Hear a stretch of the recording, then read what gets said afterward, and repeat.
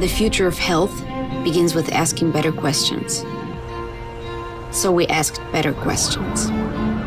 Like, how come we let the air inside our homes, where we spend 90% of our time, be five times more polluted than the air outside our homes? They say that only a madman does the same action 10 times, expecting different results. So, how come we have hundreds of systems that try to clean our indoor environment by merely filtering the air? Everyone focused on the air because it's the easy thing to do. But mold, uh, bacteria, and other allergens actually reside on surfaces and pollute the air after they become airborne.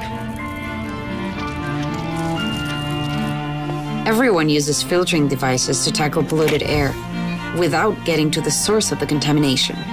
We said, why not spread healthy environmental probiotics that attack pollutants on surfaces where they originate? Everyone's fighting nature. We said, how about collaborating with it instead? So we let nature do the fighting for us. We were already using probiotics to rebalance our guts. So we introduced the Better Air systems that also use environmental probiotics to rebalance the ecosystem around us. By overdosing ourselves with antibiotics, we created superbugs that prey on the weak. We said, why not create a super friendly biome by introducing more probiotics indoors and make it organic, safe, and efficient?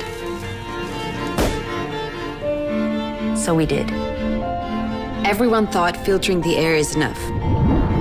We said, why not treat the source of asthma and allergies? Everyone sucks. We said, why not spray? At some point, everyone took a left turn. We made a right.